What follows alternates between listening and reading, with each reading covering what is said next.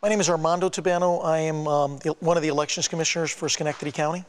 We're switching over because HAVA in 2002 told us that we have to change the way we do elections. I'm uh, Bo Lipari. I'm executive director with uh, New Yorkers for Verified Voting. We've been advocating for a type of voting system based on paper ballots and a device called ballot scanner.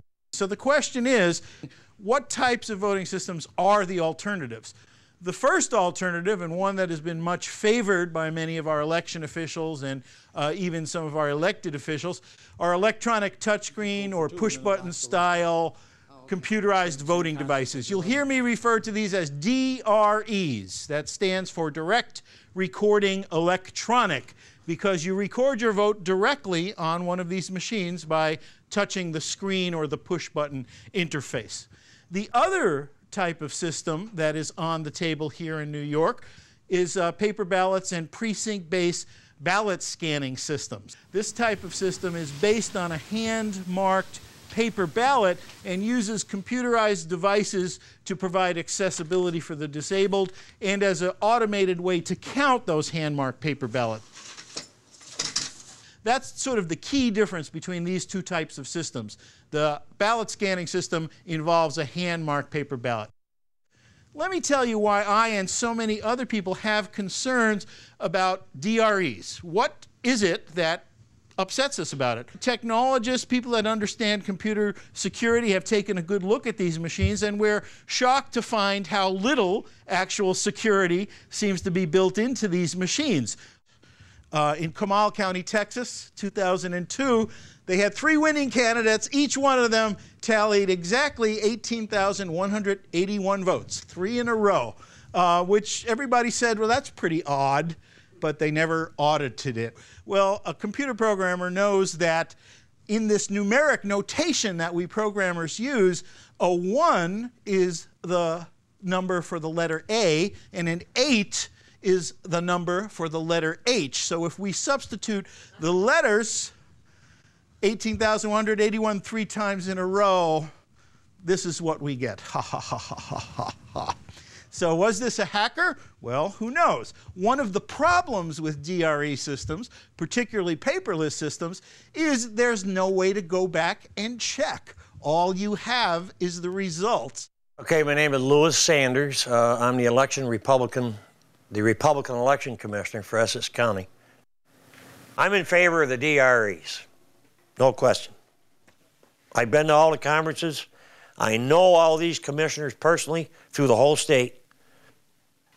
And I, I think 70% of them are in favor of DREs. I'm Suzanne M. Scarpa. I'm the town clerk for Lee. Uh, we use um, optical scan, um, and it's called an AccuVote machine. We did have lever machines uh, prior to this.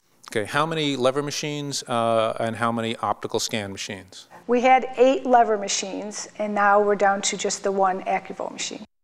In the 2004 election, uh, how many voters voted on that one optical scan machine? 3,200. We had a very good turnout. Now, you read into that whatever you want, but in my opinion, it's going to create long lines. Were there lines to, to wait, or, or did it move along fairly quickly? Uh, we have um, we have 35 marking booths, so 35 people can mark at the same time. Uh, we never had a line. The line generated from the um, checkout table. So, as far as the scanner itself is mm-hmm. concerned, uh, 3,200 people voted, and there was never a line. Nope, not for the machine, not for the marking booths. Uh, it's, it's a lot quicker than what we used to have. We used to have long, long lines. If you were going to explain optical scan to someone who had never tried it before and you only had 10 seconds, how would you explain it? Uh, you would go in, you would uh, give your name to the check in table, you would get your ballot, go to the ballot booth and mark your ballot, and then put it in the machine, and you're done for the day. My name is Tom Turco. I'm the Republican Commissioner of Elections here in Ulster County, and I am first Vice President of the Election Commissioners Association of New York State. The Election Commissioners Association issued a review of voting machines in June of 2005. that same report calculates the time to scan a ballot as an average of 30 seconds. And that was footnoted with the comment based on consistently using a machine with no delay. I have seen it. Uh, Was I part of this uh, report? No. But I have seen this OptiScan demonstrated at, at a, uh, one of our conferences. How long did it seem to take uh, to scan a ballot? Mm, I didn't really time it. I, I, I just in general looked at, you know, did it, did it just shoot right through there? No.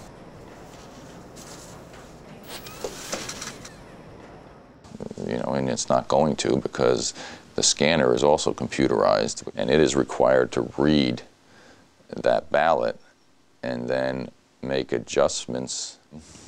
So, you know, it doesn't just fly right through there. Well, as far as what we have as reliable information, we have what we see demonstrated by the vendors, and we have the certification process. Larry. Yes. We uh, wanted to uh, record you showing us your new machine. You want to want to run us through your little demo? Sure, absolutely. Can you describe Sequoia's testing process?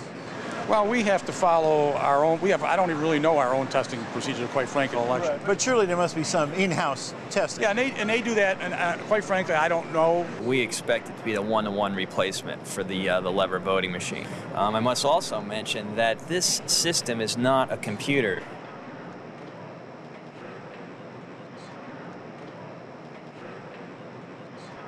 Do you have any sense of how many people can process through a voting system in, say, an hour? How many people can use a machine in a set amount of time?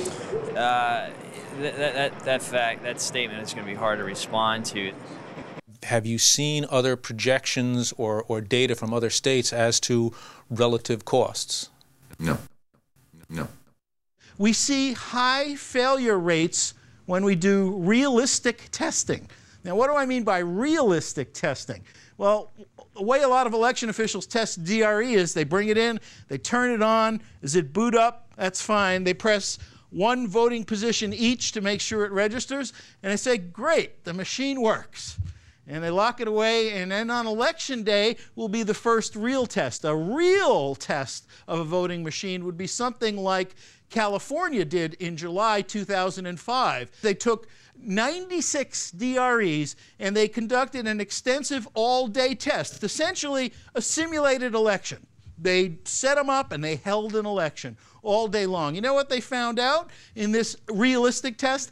Over 20% of the DREs failed in some way or another. Either failed to register votes, printers jamming, touchscreens not recording correctly, wouldn't boot up. Over 20% of these machines failed when they were subjected to an actual simulation of a real election day. My name is John Graziano. I'm one of the commissioners of elections from Albany County. I'm Jim Clancy. I'm the other commissioner of elections from Albany County. What is the practical experience in Massachusetts, which has used optical scan, or New Jersey, which has uh, uh, DREs? Yeah, we don't. I'm going to speak for myself. I don't care about practical use in Lee, Massachusetts, New Jersey. I'm going. To, I'm concerned with Albany County. This is the crucial time in New York State and in the entire country. We are looking at the whole scale replacement of our voting systems by insecure electronic voting systems. We are allowing the privatization of our elections. We are giving away this public sphere to the private vendors. We cannot let that happen. And ladies and gentlemen, the time is now. If not now, when? If not you, then who?